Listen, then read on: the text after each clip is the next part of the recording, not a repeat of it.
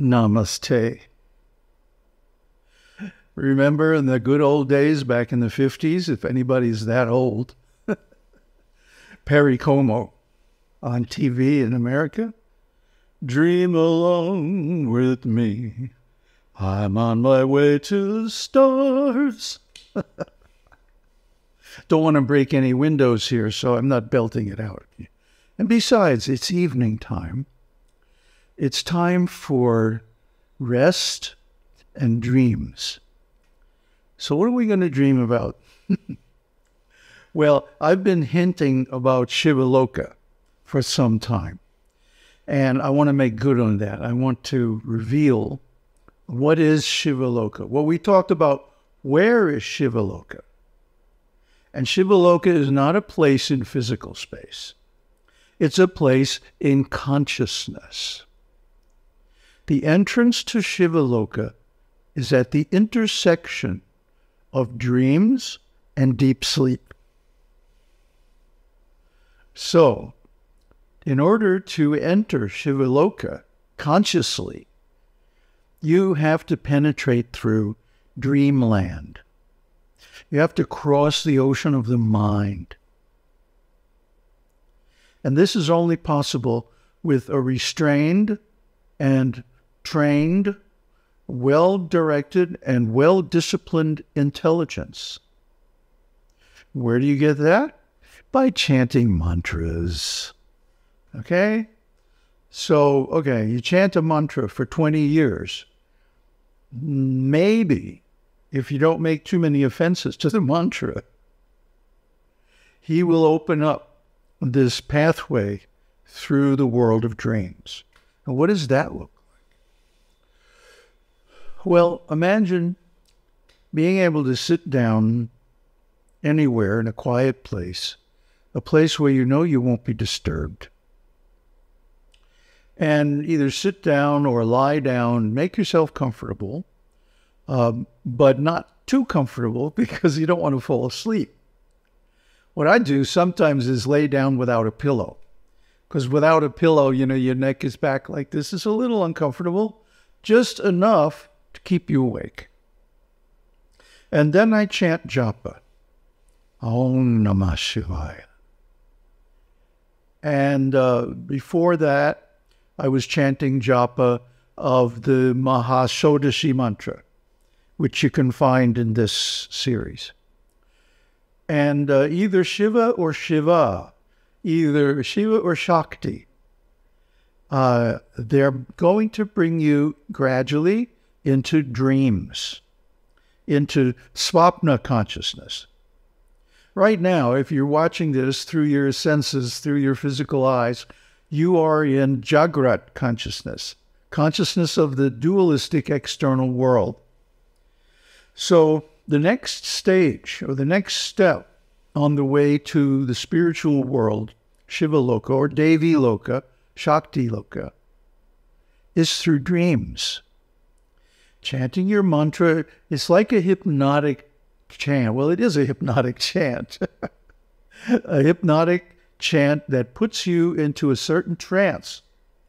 And this is where you are you have one foot in waking consciousness and one foot in dream consciousness.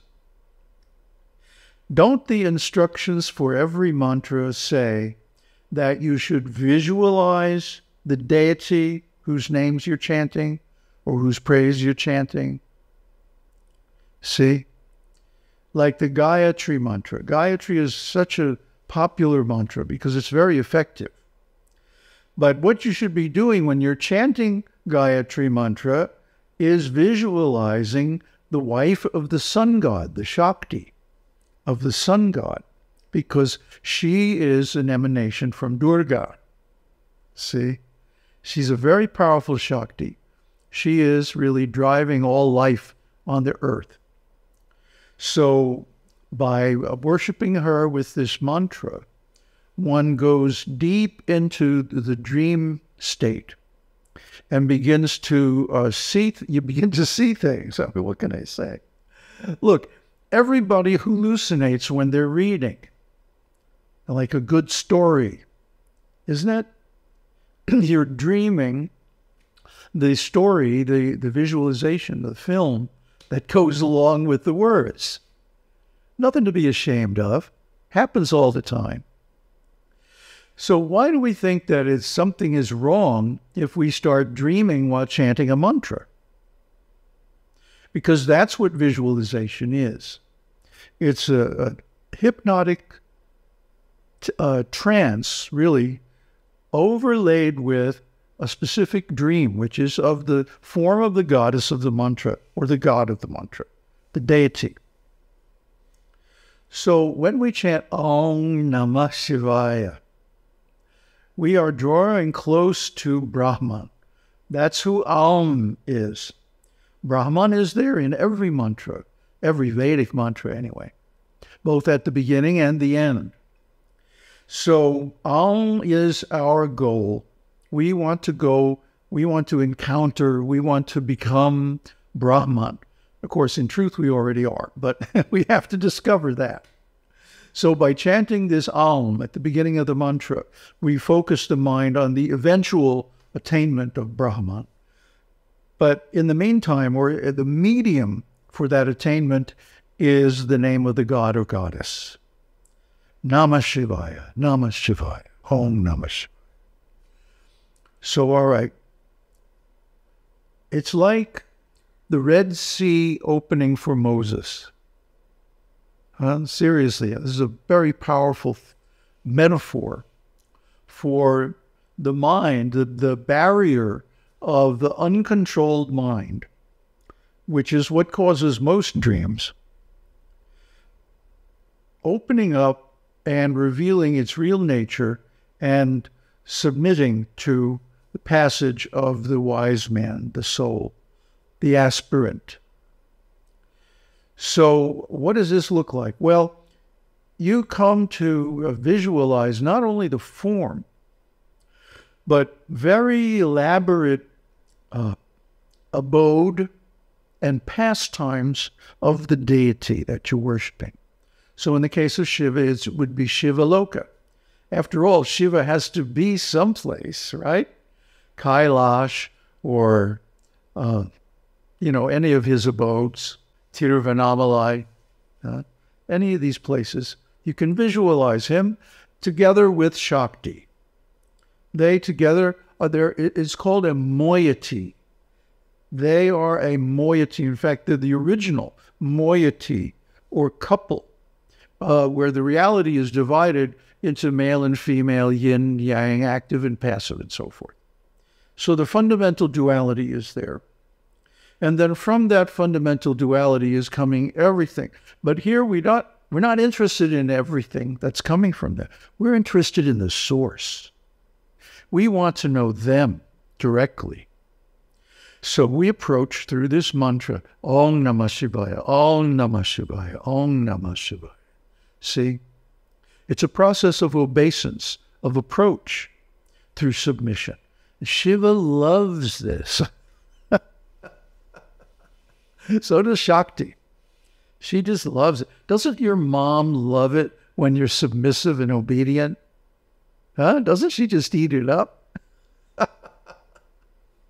well, the Supreme Mother is like that too.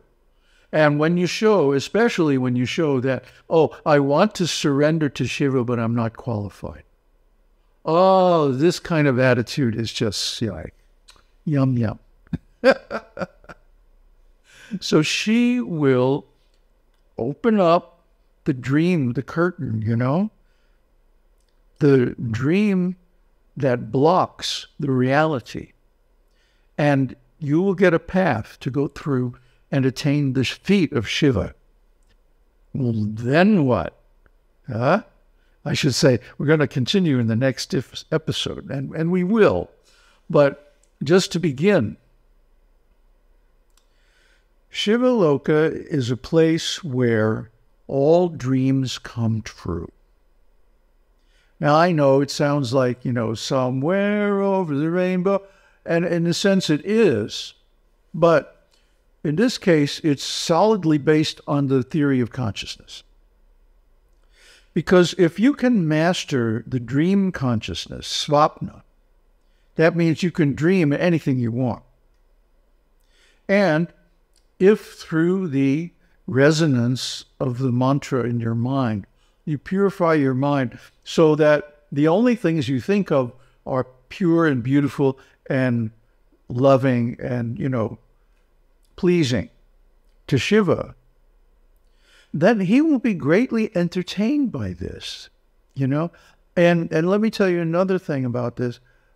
Whatever form, whatever uh, kind of relationship you want to have with Shiva, in whatever mode of uh, devotion, is fine with him. He's not attached. See? He's not attached. He's pure compassion. So that's what, what we mean when we say boom, boom, huh? boom, boom, hara, hara. Shiva, O Lord of compassion, please take away all my nonsense. and he will. He will. So what he takes away first are your unreal, unrealistic dreams. But when you start to dream of him, Shiva and Shakti, and their pastimes and their world, that is very pleasing to them, and they will arrange everything so that you can join them and play with them. Because why? They want to have fun with you. They, God just want to have fun. It's true. So any a relationship, any, you know, positive, beautiful, loving relationship that you can imagine having with God and Goddess, either one or both at, uh, at the same time, doesn't matter. Where one is, the other one automatically is. So, um, whatever kind of relationship you can imagine having with them in pure love, they will manifest to your inner eye. And you don't even have to make the effort to imagine it. It's just going to pop into existence. That's the nature of Shivaloka. And ultimately, Shivaloka is Brahman. So there's no consciousness, no form, no motion, no activity, no energy, no nothing. And, and that is Sushupti. Sushupti is the void with a capital V, uh, emptiness where nothing can happen. But the boundary between Swapna and Sushupti is not a stone wall. Huh? If there's a wall, it's because we put it there, not him. If there's a door and we find it locked, it's because we locked it. and forgot where we put the key. So that's why it takes this work. That's why it takes this sadhana, which involves mastery of the different stages of consciousness. First of all, by observation, being able to locate and identify them in yourself. And then by gradually introducing awareness into dreams, lucid dreaming, you can call it, you get to the point where you can dream anything you want, especially while you're falling asleep and just waking up.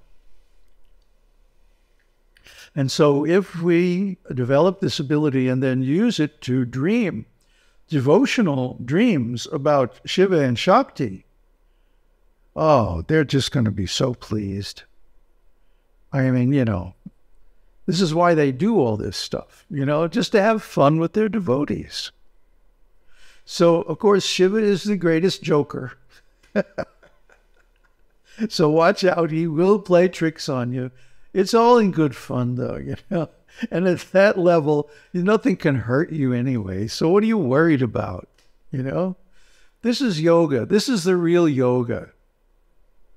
This is the yoga that leads to liberation, not just samadhi.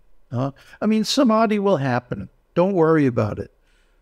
Now, when you develop the requisite uh, conditions, it'll just happen. Same with Kundalini and all that stuff. But what you should be concentrating on is the path. How do you get to that point? How do you get qualified? How do you get purified? And how do you get the qualities and the thoughts and the emotions that lead to complete enlightenment. Om Tat Sat. Om Shakti Om. Om Namah Shivaya.